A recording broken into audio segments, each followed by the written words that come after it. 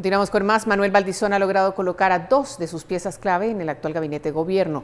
Uno de ellos, un posible operador político que niega, eso sí, cualquier vínculo con el ahora retenido en Estados Unidos.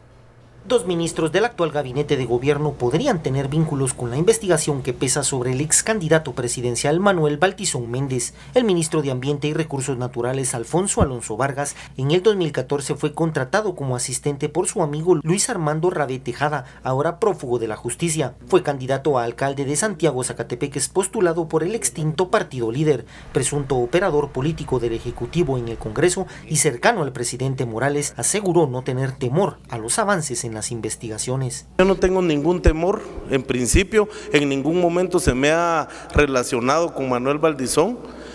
Eh, yo efectivamente fui inscrito como candidato a ese partido. En ningún momento, usted lo puede ver en el registro de ciudadanos, participé como mm, en el partido digamos, no estuve afiliado en el partido, fue una cuestión coyuntural, pero no tengo ningún temor. También el ministro de Agricultura, Mario Estuardo Méndez, fue electo como diputado al Congreso por el partido líder. Al ser nombrado ministro, dejó el curul, pero fungió como secretario privado de Manuel Valdizón. Por una Guatemala en paz, Cristian Martínez y Byron Secaida.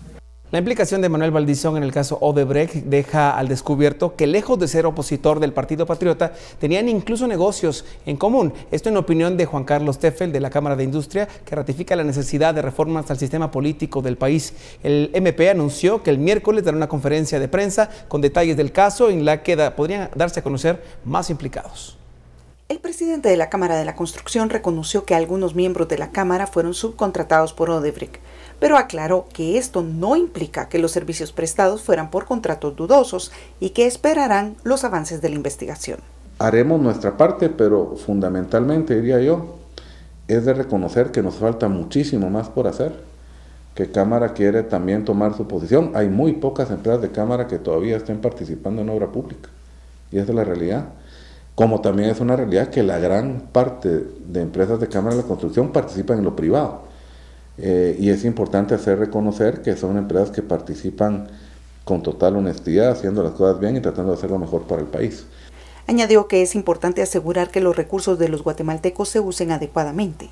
El CACIF considera que no basta con la firma de desistimiento al contrato por parte de Odebrecht. Debemos de exigir la devolución de ese dinero y las costas también de, de esas pérdidas que hemos tenido.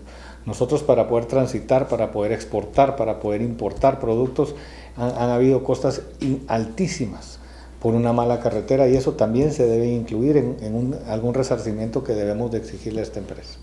Además ve como positivo los avances en la lucha contra la corrupción, ya que evitar el pago de coimas o mordidas podría contribuir a atraer la inversión y que Guatemala sea un país en el que no se den prácticas perversas. Por una Guatemala en paz, Ligia Herrera, en Cámara Rafael Ovalle. El ministro de Comunicaciones, Aldo García, informó en conferencia de prensa que la compañía brasileña Odebrecht no firmará un contrato de desestimiento de un tramo carretero inconcluso hasta esperar el avance en las investigaciones del Ministerio Público. El conglomerado brasileño Norberto Odebrecht, señalado del mayor caso de corrupción por sobornos en Latinoamérica, no firmará un desestimiento por la construcción de un tramo carretero de 97 kilómetros y cuyas obras están paralizadas desde el 2016 lo que significa que con la falta de esta firma persiste el riesgo de que el Estado de Guatemala sea demandado por Odebrecht. No se firmaron, eh, los señores se reunieron con la unidad de Corelip, que es la unidad de la Dirección General de Caminos, que es la que se encarga de liquidar los contratos, no firmar. Y creo que ahora, pues, eh, siendo que el caso ya va avanzando, pues vamos a esperar nosotros ya eh, que actúe el Ministerio Público. La impresión que tengo es que están como esperando los resultados del Ministerio Público. Esa es la impresión que tengo. Ante esto, dos caminos podrían marcar el futuro de estos contratos. Por un lado, el trámite podría tardar un año y medio, pero el país podría beneficiarse de alguna devolución millonaria que el conglomerado brasileño debiera hacer. Por el otro camino, el Ministerio Público deberá de continuar investigando y deduciendo responsabilidades a funcionarios involucrados, pero se corre el riesgo de que la constructora demande al Estado. Por una Guatemala en paz, Cristian Martínez y Byron Secaida.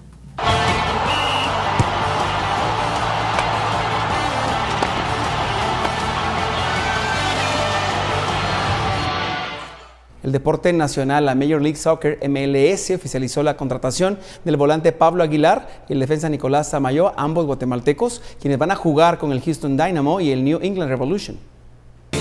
Pablo Aguilar, de 22 años, fue escogido por el Houston Dynamo. Procede de Virginia Cavaliers en la tercera ronda. Acá ha militado desde hace cuatro temporadas, anotando 16 goles y 8 asistencias. El Dynamo ha sido campeón de la Major League Soccer en dos oportunidades, 2006 y 2007, asimismo subcampeón en el 2011-2012.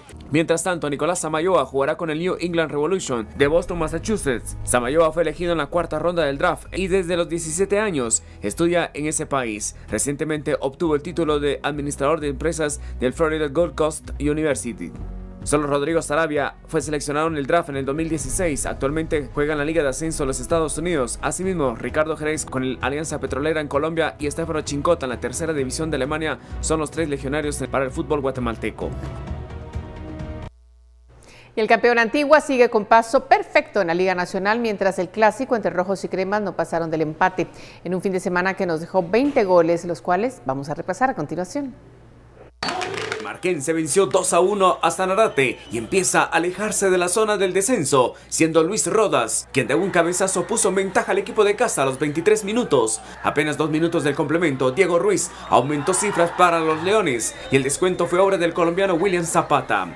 Shela volvió a fallar en casa y cayó 1-2 ante el Cobán Imperial, siendo los príncipes azules que rompieron el empate con el gol de Rafa González el empate chivo llegó vía tiro libre de Mario Castellanos al minuto 78 y el uruguayo Maximiliano Lombardi decretó la victoria al minuto 93.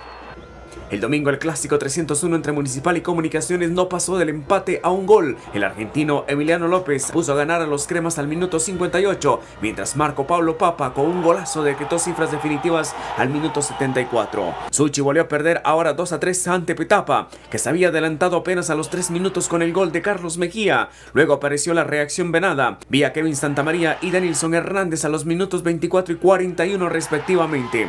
Pero Juan Valenzuela empató el juego a 2 al minuto 52 y al 86 apareció Pedro Samayoa para colocar 3 a 2 definitivo. El campeón sigue con paso perfecto en la liga. Ahora doblegó 3 a 1 a un aguerrido Siquinalá, siendo José Manuel Contreras que puso a ganar a los coloniales a los 8 minutos. Luego el penal de Alejandro Gambetita Díaz aumentó cifras al minuto 26 y Alejandro Galindo puso el tercero al 63. El juvenil Leandro Pineda puso el descuento naranjero al minuto 86. La jornada finalizó en Oriente, donde Guastatoya dio cuenta de Malacateco 3 a 0, gracias a las anotaciones de José Márquez a los 9 minutos. Un infortunio de Brandon de León puso el 2 a 0 al minuto 60 y Wilson Pineda decretó al minuto 80 la victoria oriental. Por una Guatemala en paz, noticiero Guatevisión, Luis López.